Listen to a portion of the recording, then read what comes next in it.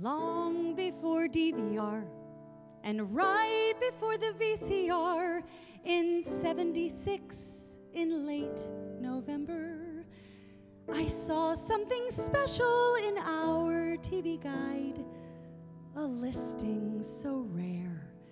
I will always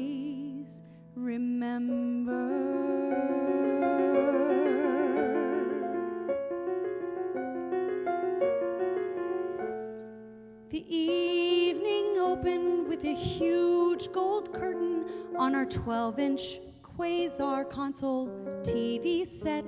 As timpani rolled, I could see the crowd stirring, while behind me, my big brothers wrestled during the one time they aired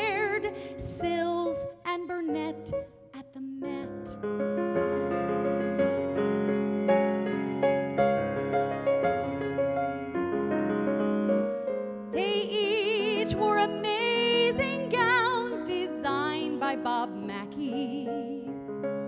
Beverly sang in languages I didn't know. And when Carol performed her big Tarzan yell, ah,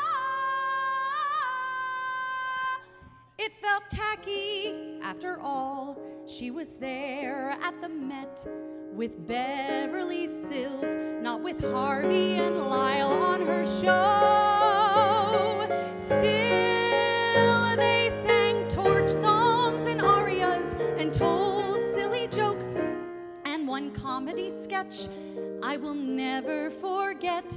Cause even though I wasn't there in the crowd, the gasp of a few was surprisingly loud when Carol snubbed out a lit cigarette on the floor of the stage of the Met.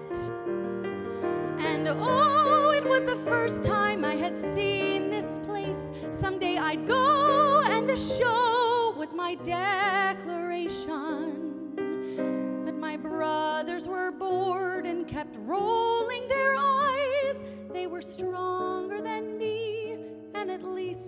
twice my size. So the fight for the Met was too much. And they made me watch Starsky and Hutch.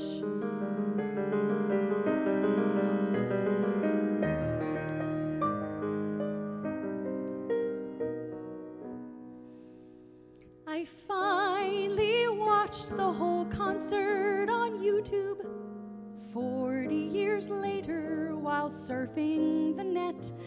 Though my move to the city was never certain, Bubbles and Carol and that huge golden curtain set the stage.